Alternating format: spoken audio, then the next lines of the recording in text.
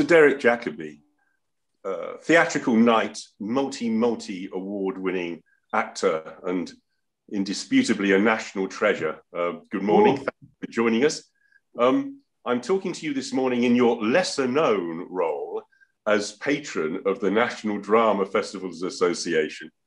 Uh, I mean, just looking at your career, I mean, uh, the 70s, I, Claudius, uh, and a BAFTA, um, yes. The the 80s, Stratford, Benedick in Much Ado. I remember you as a, a slim hipped uh, and much, very reluctant Benedick in, in Much Ado. Uh, I saw you there. I saw you as Prospero, a powerful and, and intimidating Prospero in the, in the Tempest. Um, file on all our TV screens oh. again in the 90s.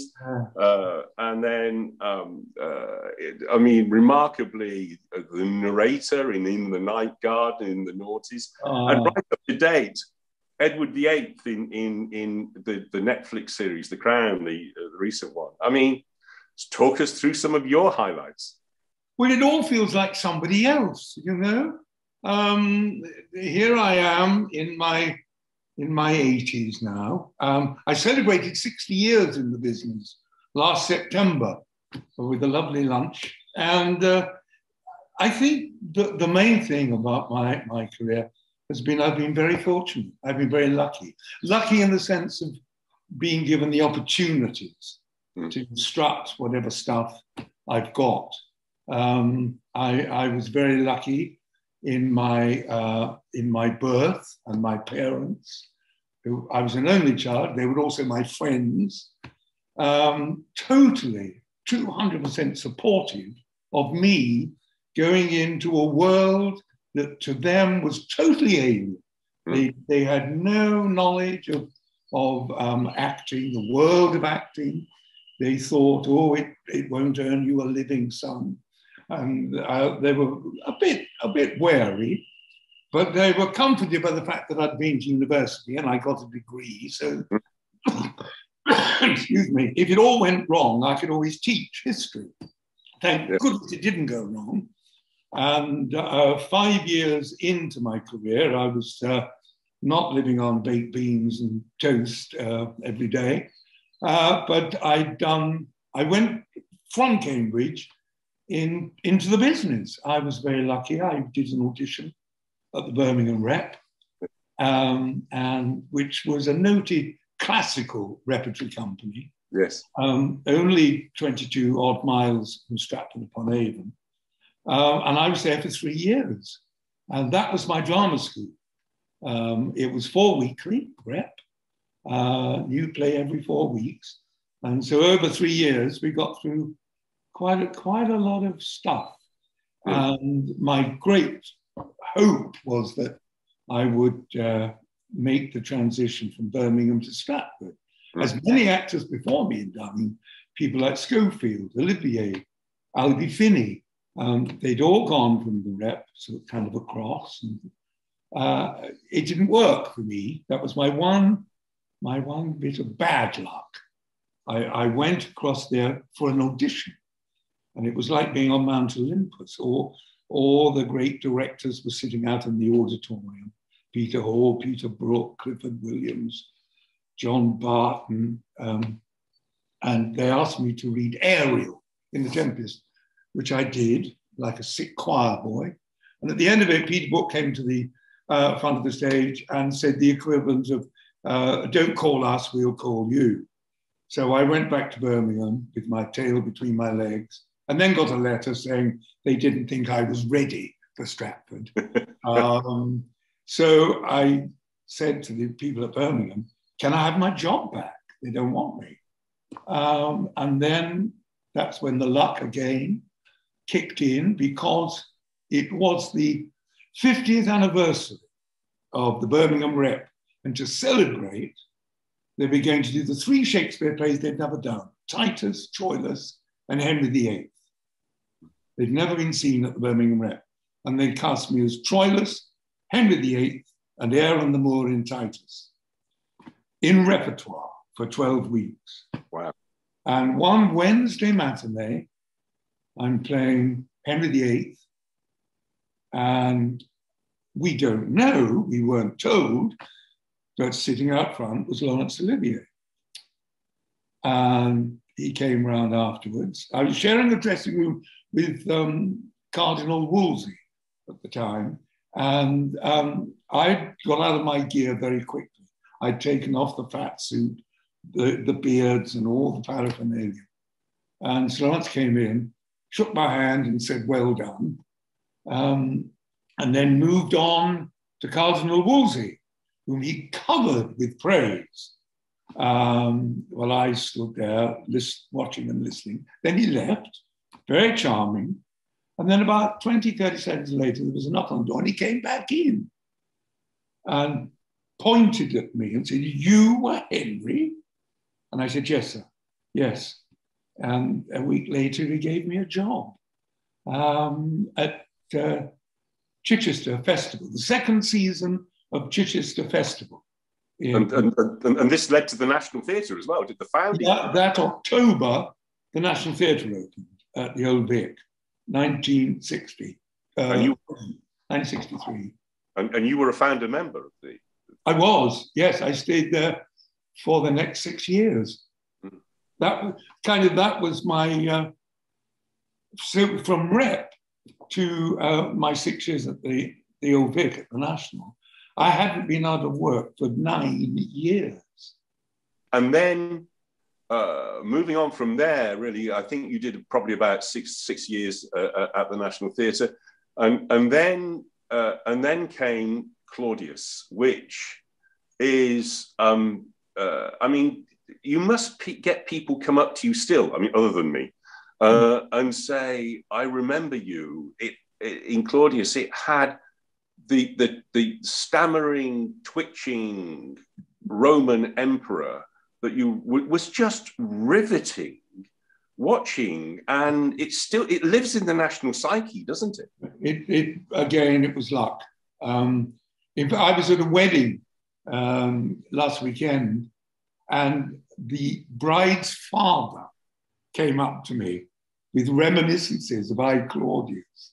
Mm-hmm. Um, Yes, I, I, when I say it was luck, I wasn't the first choice for that that part. Um, they they'd originally wanted two uh, Claudii, a young one and an old one. Um, and at that point, they wanted it, it was owned by an American company, um, and they wanted Charlton Heston. Um, uh, he turned it down, and then they went English, and they wanted Ronnie Barker. Um, and he turned it down, um, or something happened and he didn't do it. And then the producer and the director, whom I'd worked with in the early 70s, um, said, uh, suggested that one actor should play him throughout, play him young and play him old, because that's what I'd done with this um, producer and director in 1970.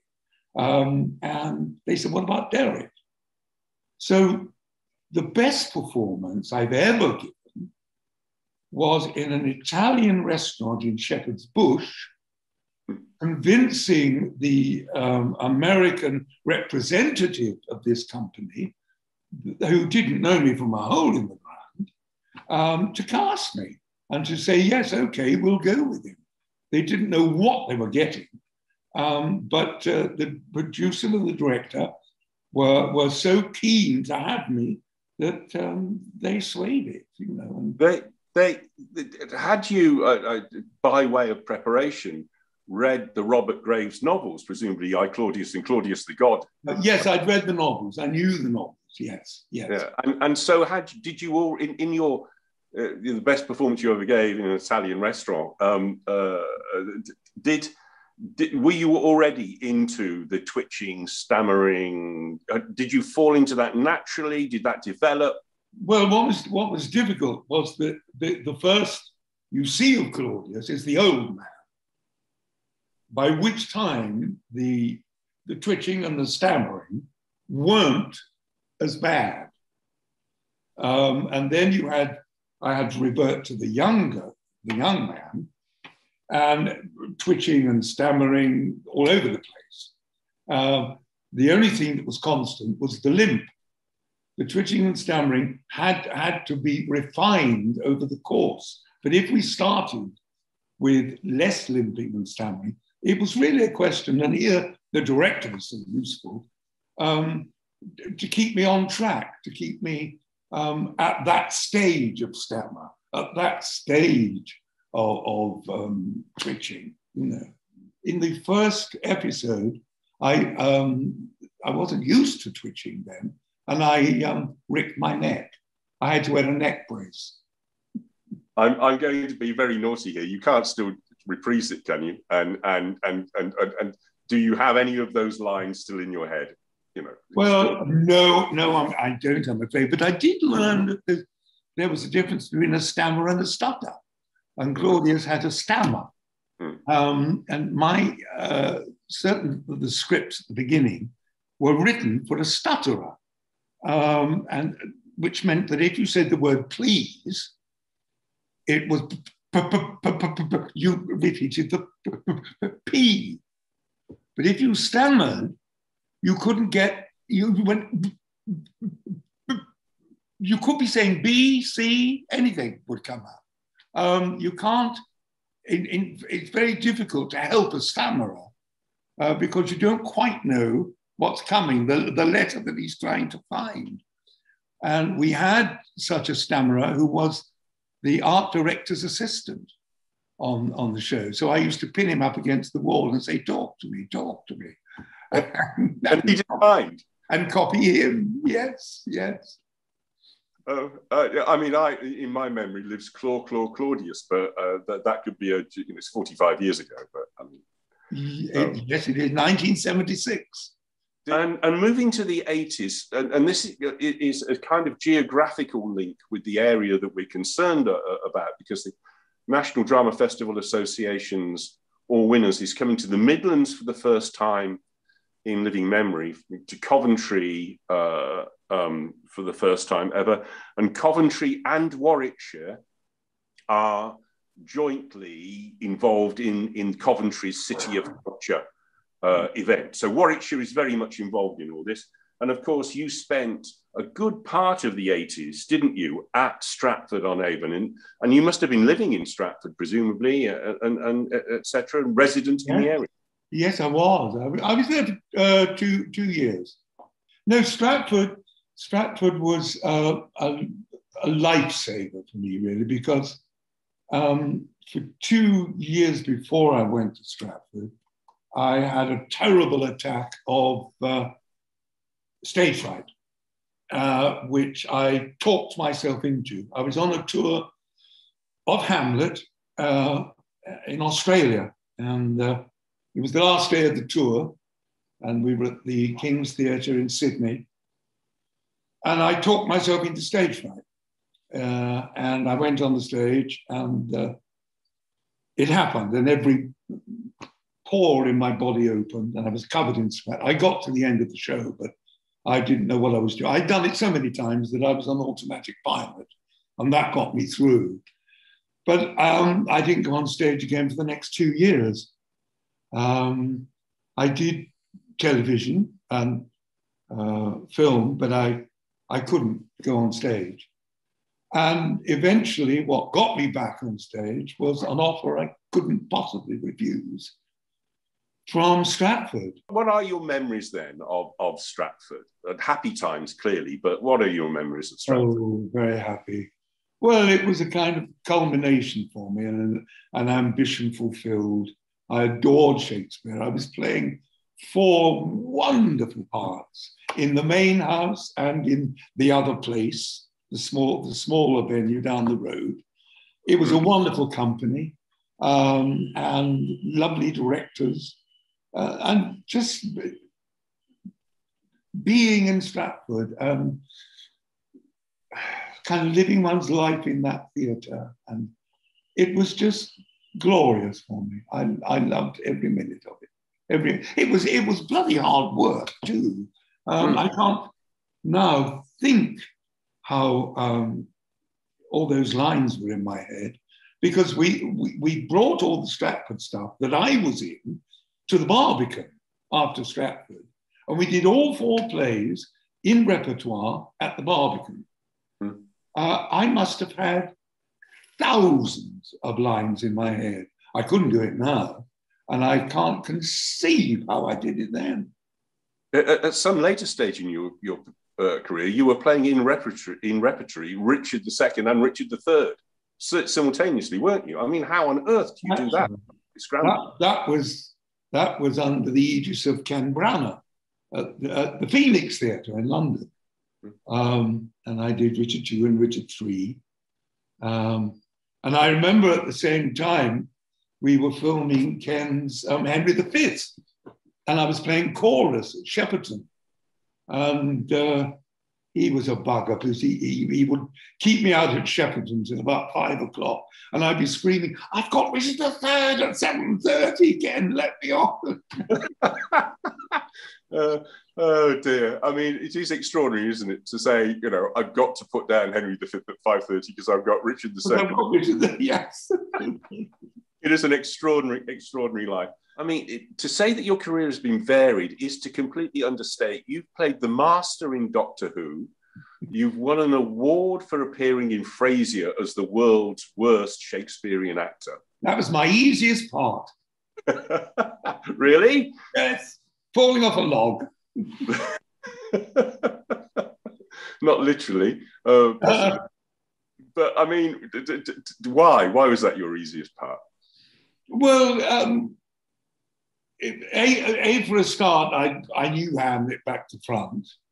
And the opportunity to send it up was a was God given, you know, yes. uh, to go on as Hamlet and play it for laughs. Oh, what could be better? And, and you got an award for it as, as, as yeah, best. I, I got an Emmy Award, yes. Wonderful. And of course, to a whole generation. I mean, I vividly, as we've discussed, being of, of, of, of, of a, a, certain age, remember you, your, your, some of your, your early career highlights. But whole generations of, of people now in their 20s think of you uh, as the narrator for In the Night Garden and the voice of Iggle Piggle. I mean, that's, that's what you're known as. I mean, that, yeah. that's, you know, I mean, how does that compute? How do you? Well, it has, it has, a great responsibility for the for the youngsters that were watching. So in that sense, it was more difficult than Cyrano de Bergerac, uh, but it was it was lovely to do. We recorded many of them, and uh, I grew very fond of Upsy Daisy and Iggle Piggle and the Tombliboos and all of them. Um, and th- that, you know, is still, I did them many years ago now. Mm. It must be about 10 years, nearly 10 years ago. Yes. And still, mums and dads, uh, when they meet me, talk about in the night garden, and it's still going out there. Um, and, and you know, and what was good about it, I think, what is good about it is that it entrances the child and involves the child. Mm-hmm. Um, but it doesn't excite the child.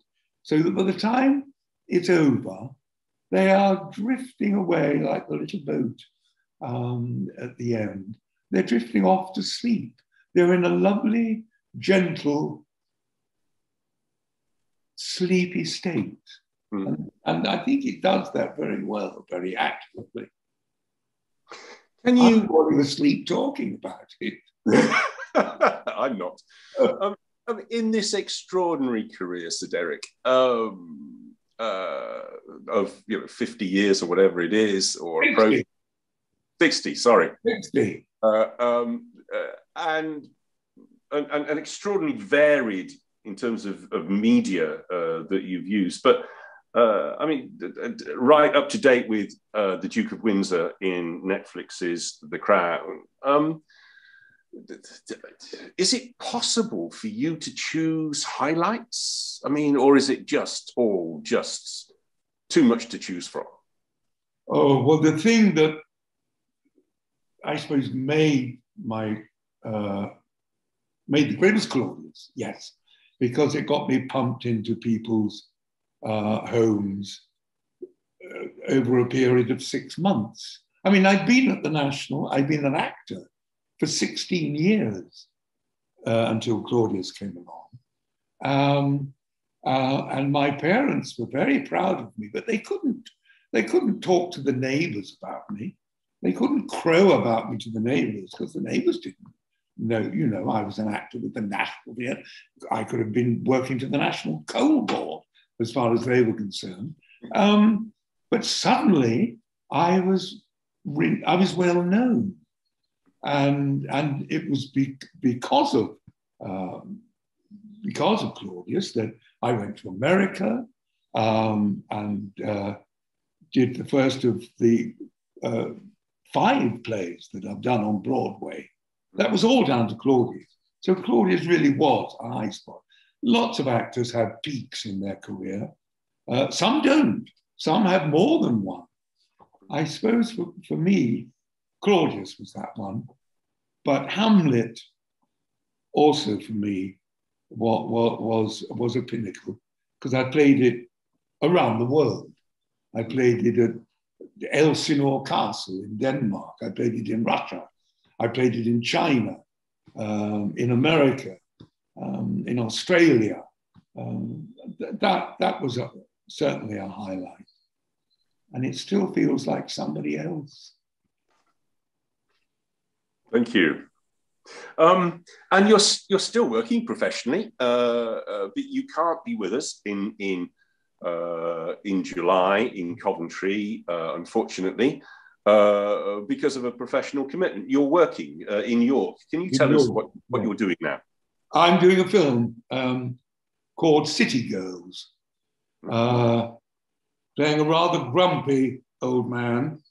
Um, and you'll never believe who's playing my daughter. Surprise me. Elizabeth Hurley. Really? Playing my daughter. Um, mm. It's a lovely, it's a sweet story, um, and it's funny. It's got lots of uh, good uh, comic lines, I'm glad to say. Mm-hmm. Um, so now, in my, uh, I'm very much into the fifth act the interval's longer. And, and I'm very conscious of being in the fifth act. And so I'm not quite so worried about what happens. Que sera, sera. Do you have in, in, uh, in, in uh, ambitions for your fifth act? I think you haven't yet appeared in Coronation Street. I think that that was one of the. Uh, uh yes, I'd been asked twice. Oh, really? Yes, but each time I was miscast. I felt I was being, mis- I, being miscast. Ideally, what I would like to do is what um, Ian McKellen did. Hmm. He went in for six weeks, playing a character had no connection with any character in the street, came in, did his birth, left. Now, I like to do that, but they two times I've been asked to be in it, and uh, it's been a wrench to say no, but they, have um, related me to somebody in it, you know, and, and, and related me not very well. And I felt totally miscast. And I don't, if, if I do it, if I ever were to do it, I don't want to feel um, I'm in the wrong body in it. You know? mm. I mean, after such a wonderful career and with, with so much that's gone so well, you don't want to, in the fifth mm. act, make a, a, a mistake in effect. And particularly with Corrie, which I've been watching since 1960. You're a big fan. Oh, yes. Oh, yeah. I've seen some wonderful acting in Corrie. Wonderful acting.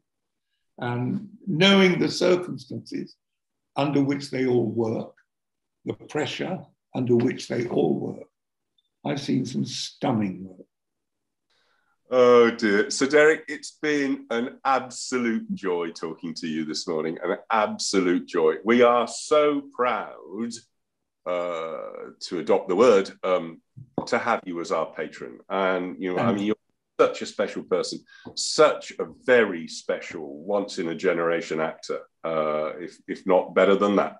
Um, and, and, and we deeply appreciate your support. Um, we're sorry that we can't welcome you to Coventry this year, but we would be delighted to see you in Coventry again or wherever we turn up in, in future years. So, I mean, I will be there. May I ask you also to always write my reviews? my pleasure.